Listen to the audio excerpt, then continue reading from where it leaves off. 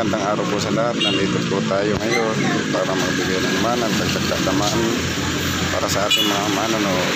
Meron po tayo ditong isang unit. Ito po ay Yamaha site at ito po ay ating i-convert dito sa mags na naka disc brake po. Un- Unahan, likuran.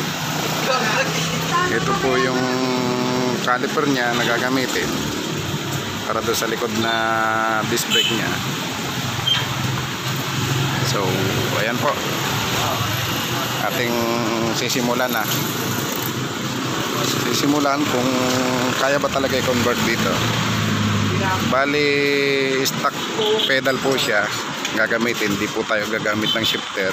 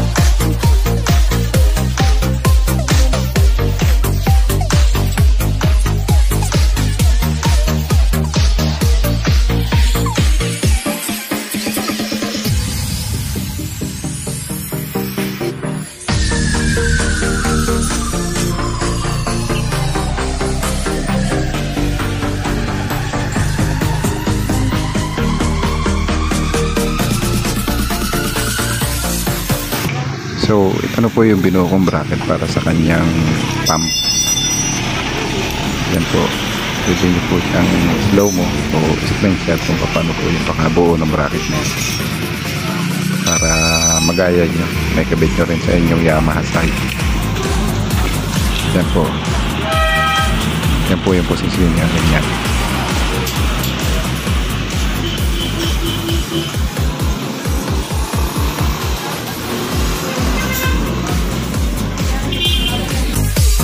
Okay, yan po tapos na po siya. Same lang naman po siya ng Sniper 135. At ito po, tingnan nyo maigi yung pakakabit. Pwede nyo po siyang gayahin sa stock pedal po. At para dun sa mga hindi pa po nakapag-subscribe yan, subscribe lang po kayo para lagi po kayong updated sa mga susunod ko pang video. At huwag niyo rin pong kalimutan pindutin ang notification bell